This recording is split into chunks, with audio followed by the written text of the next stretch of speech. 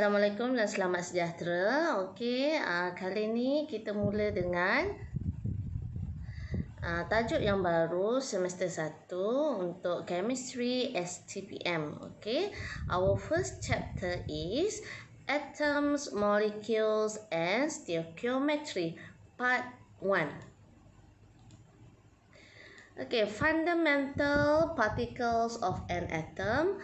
Okay, kita mula-mula sekali kita tengok apa dia subatomic particles of an atom. Okay, do you still remember the subatomic particles? Okay, we have three subatomic particles.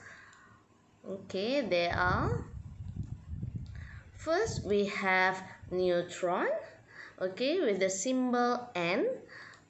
Okay, another one we have proton. Symbol of proton is P. Uh, both neutron and proton is uh, located in the nucleus. Okay, untuk proton kalau awak tengok dia ada uh, positif. Okay, positif mean positive charge. Okay, untuk neutral there is no charge mean uh, neutral. Okay, for neutron. Okay, and another one we have electron. Okay, so the charge of electron is negative. Okay, the symbol is E.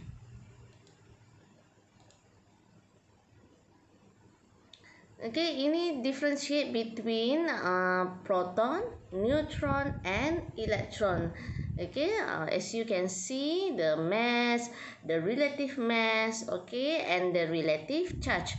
Okay, charge for proton is positive 1, neutron 0 means neutral, and electron is negative 1. Okay, the mass for electron is very light. Okay, electron is a lighter mass okay compare to proton and neutron okay? Uh, kalau kita tengok sini berat untuk proton dan neutron hampir sama 1 okay? But electron is 1 over 1834 means dia sangat-sangat ringan.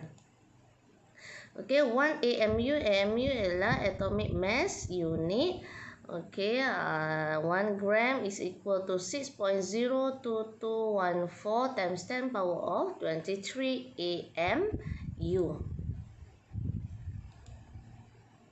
Okay, effect of electron, oh, sorry, effect of electric and magnetic fields on subatomic particles. Okay, here we have electric field. Okay, so dekat electric field kita ada positive plate and negative plate. Okay, protons will deflected towards the negative plate. Okay, jadi bila kita uh, lalukan atom, okay, the subatomic particles here, okay, dia akan melalui dekat plate ni. Protons dia akan deflected towards the negative plate okay? Because proton is positive charge. So positive charge dia akan attract dengan negative plate. Okay for electrons okay will deflected towards the positive plate. Okay different charge dia akan attract each other.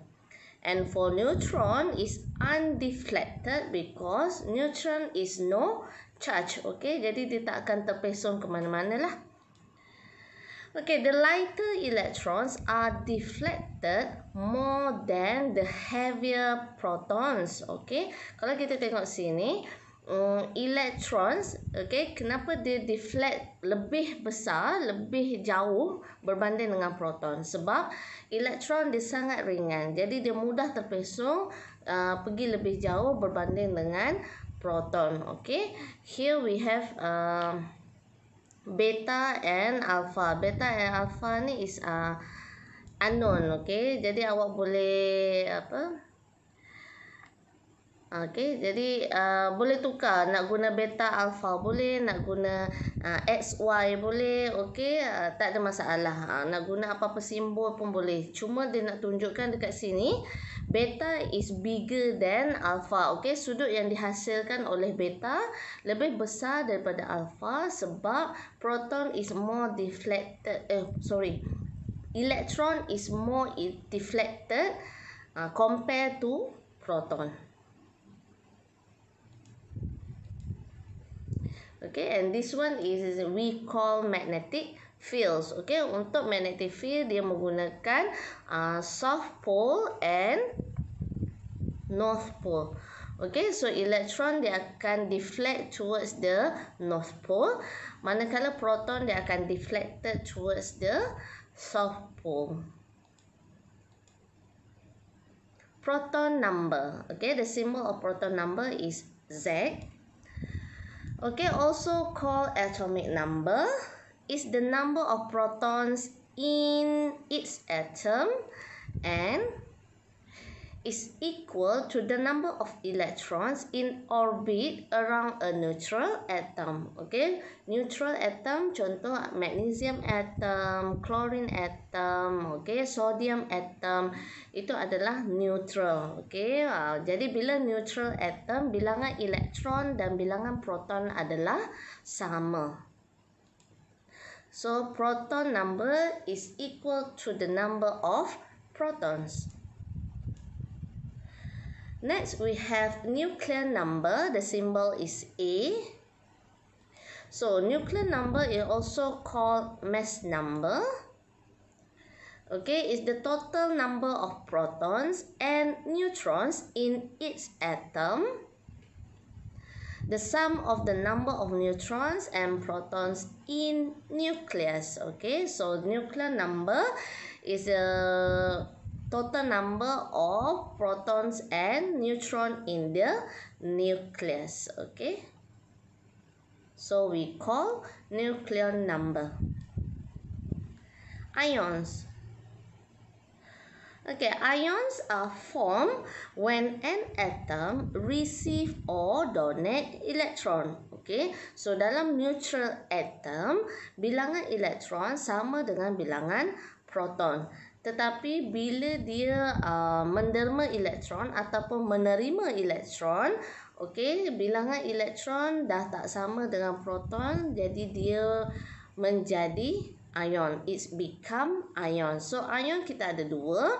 Yang pertama ialah Positively charged ion or cation are produced when metal atoms donates electron. Okay, bila dia menderma elektron, dia menjadi cations. Okay, so a cation has more protons than electrons. Okay, kita tengok contoh. For example, we have magnesium. Okay, the number of proton for magnesium is 12 okay and the number of electron is 10 okay because it donate two electrons okay kalau uh, magnesium 282 the electronic configuration electron arrangement dia ialah 282 okay so dia akan release two electron is become 28 okay jadi bilangan elektron dia kurang daripada bilangan proton. Okey, sama juga dengan aluminium ion and potassium ion. Okey, jadi magnesium, aluminium, potassium dia akan release electron to achieve octet electron arrangement. Okey, ha, ni semua octet electron arrangement. Okey.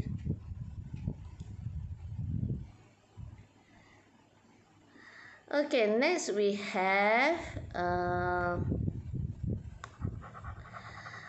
negative negatively charged ion. So negatively charged ion or an ion are produced when metal atom receive electron. Okay, uh, bila menerima elektron dia jadi an ion. Contohnya kumpulan 17 uh, macam chlorine, fluorine, iodine dia accept electron. Okay. So, bila dia accept electron, dia menjadi an ion. So, an ion has more electrons than proton. Okay. Jadi, untuk ion, uh, number of proton dia uh, kurang berbanding dengan elektron. So, dia mesti terima dua elektron. Sorry, untuk oksigen dia terima dua elektron sebab dia nak mencapai octet electron arrangement. Okay. sorry kita 28 okey kemudian uh, kita ada chlor chloride ion 288 phosphorus ion pun sama 288 okey dia nak mencapai octet electron arrangement Okay, standard representation of an atom. Okay, we have X. X ialah symbol of element. Okay, kalau symbol of element contoh untuk uh, sodium. Okay, sodium the symbol is Na. Okay, ataupun in Malay natrium. Kemudian kita ada uh, lead. Okay, the symbol of lead is PB or in Malay we call uh, plumbum. Okay, uh, ini contoh-contoh uh, symbol of element. Okay, kita guna X. Next we have A. A ialah nucleon number. Okay, nucleon number is the total number of proton number and number of neutron. Okay, itu nucleon number. And Z we have proton number. Okay, uh, ini ialah standard representation of an atom. Macam mana awak nak tulis dia punya symbol, okay, nuclear number, the proton number. Example, okay, calculate the number of proton, neutrons and electrons in the following species. Okay, A, we have nitrogen. Okay, we want the uh, number of proton. Okay, here is number of protons, number of neutron, and number of electron. Okay. So for nitrogen, okay, the nuclear number, uh, sorry, the number of proton is equal to 7.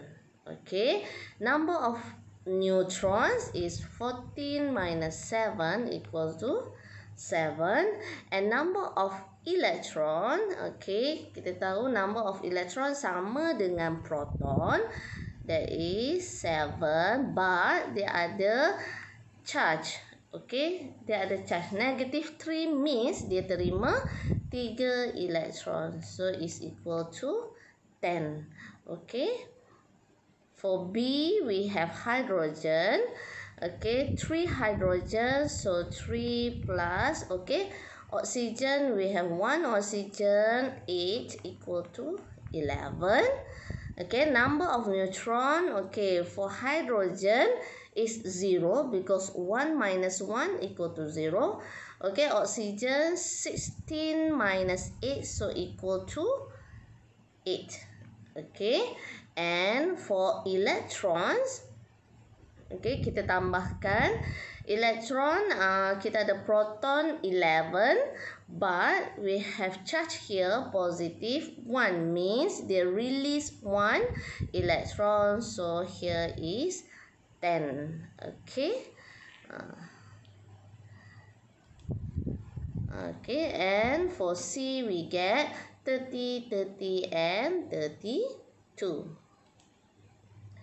okay next STPM 2014 the proton number of ion Y is 16 its nuclear number is 33 and it has the same number of electrons and neutrons Okay, what is the charge of ion Y? Okay, jadi kita tengok proton number. Okay, number of proton equal to 16. Okay, nuclear number number is equal to 33.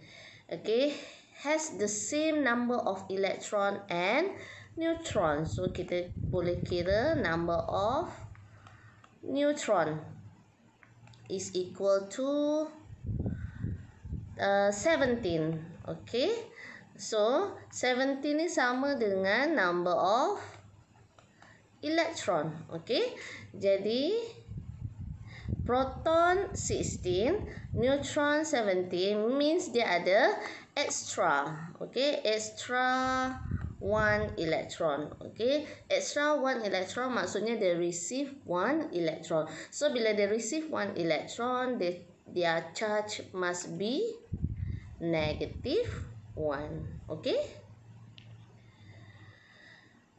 Okay, so that's all for chapter 1 part 1. Okay, we'll be we will be continue in the part 2.